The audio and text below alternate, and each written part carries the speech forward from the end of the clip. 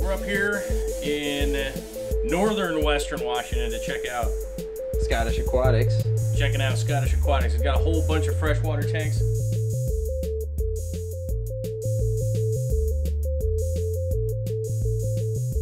All right, first we got a 125 gallon community tank. Uh, as you can see, we got platies, rainbow fish, angelfish, bala shark.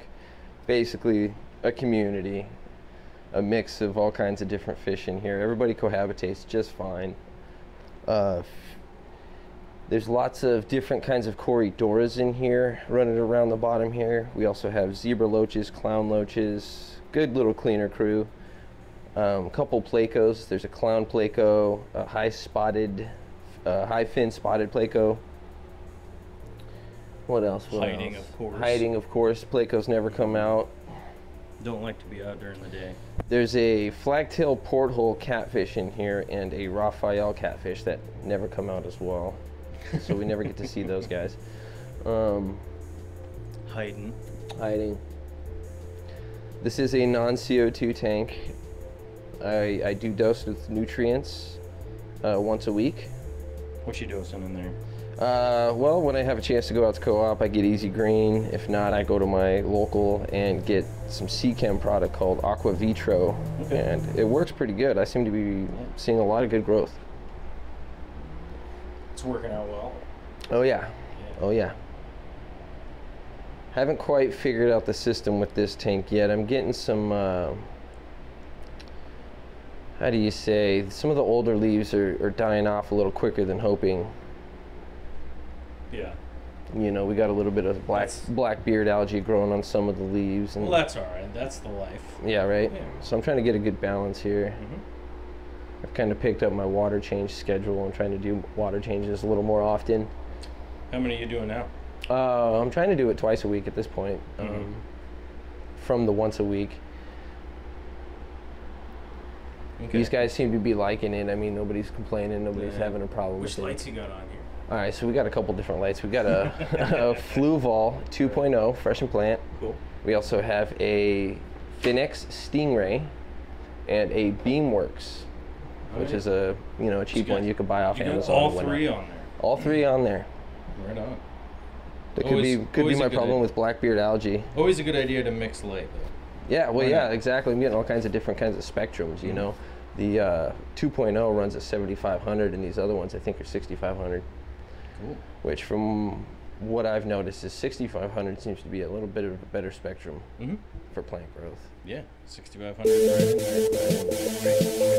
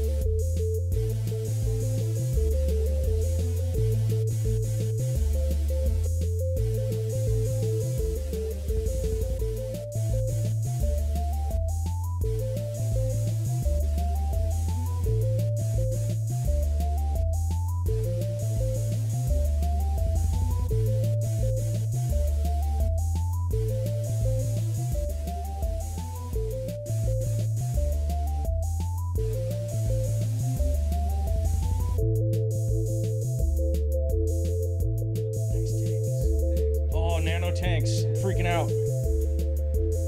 Think fun. Gotta have nano tanks, right? Sure. Take advantage of uh, getting these. Everybody called me down here. Don't want to yeah.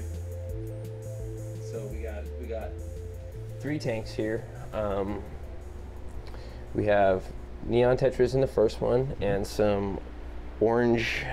What were they called? Ricara shrimp or something like that. Um, lots of plants in here. We got a Rotala, we got some Crypts, we have some Java Moss, we have Uh, Pink Flamingo is kind of a little guy, not not doing so well. yeah, yeah that pink flamingo is It's a tough one. yeah. It's a tough bit one. of a pain. absolutely. Yep. Yep. Oh, you got the fully signed aquarium co-op hat on. I do. I do. I just noticed that. Yep. It's got all the signatures from all the guys. All Got Bob, Corey, you, everybody. well, I think I wrote on it. Yeah, I don't know. I don't know if my signature is worth anything. one day. So we got another nano tank. Yep. Nice. This is. Uh, Which size is this one? I believe this is an 11 gallon. So this is the loads are like eight, and this one's eleven. Yep. Okay. And uh, this one is housing some German blue rams that are hiding, as well as red cherries, and that's pretty much it. I've been wanting to restock this tank with some some new fish. I think I'm gonna put the rams back in the discus tank. Yeah, give them some bigger space. Yeah, when I pulled them out, they were actually breeding in the in the discus tank, but there was too many fish in there and they were getting eaten. So I put them in here, trying to come up with a different equation, hoping they would successfully breed in here by themselves. Mhm. But uh, that didn't happen. So I'm gonna try putting them back in there and wait for them to breed. Once they do, I'll just pull the rock and uh, incubate the eggs. Nice. This one over here houses white cloud minnows, golden white cloud minnows, and red cherries. Red cherry shrimp. Red cherry shrimp. I got red cherries kind of in a lot of the tanks because I had an overabundance Mm-hmm. of red cherries in one of my tanks. They were just breeding and breeding and breeding. Nice. No stopping them. So Always good when you. I had enough to distribute. Yeah, you just have like. That's like having too much money. you know? Yeah, right? Like, oh man, got too much money, guys. well, only lately have I been taking advantage of taking them into the local fish store for Yeah. credit, Trading them in. trading them in. Always a good idea. Always a good idea. And here's the infamous discus tank. Infamous. Infamous, the star of the show, if you will. These guys are bred by us. And we started with only about six discus and turned that into about 40 discus. yeah. There's some bristlenose plecos in there, some some dwarf petricolas, um, sterbai corydoras, and a snowball pleco as well. Nice. As far as plants go, you got Vallisneria, Vesuvius. Let's turn up the lights here for you. Oh, he's going big with lights. There we go. As you can see, very social discus. They're kind of in your face, wanting to know what you're doing. The social discus. The that's, social discus, That's why they're so good at breeding, right? right? Yeah, these guys are not shy at all. Mm-hmm. That's one thing we love about them. I know I've heard a lot of people say that they are a timid fish and not a lot of people want to keep them because they're hard to keep and so on and so forth. These have been very easy for me and I've had Yeah. no problems with them. I only ever found them to be timid like during the daytime. Yeah, You know, the nighttime is when they get busy. I feel like I need to move this tank closer to the door because these guys are so social that they just they'll they'll basically swim with you as you walk by the tank, Yeah. following you around, waiting for you to feed.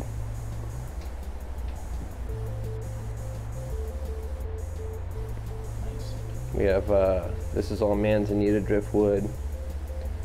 There's some lotus plants in there. Yeah, but where'd you get these rocks? Where did I get those rocks? My front yard. Yeah. Perfect. My front yard. good. I like it. Rinsed them under some real hot water. Just gonna go outside, get some rocks, That's right. just adult. Just do some of that adulting. Do some of that adulting. Oh, the big yellow one I didn't even notice until I'm seeing it on my camera. I'm an idiot. Happens. You get blocked by all the blues. hmm That's Old Yeller. Yep. This dog's gone bad.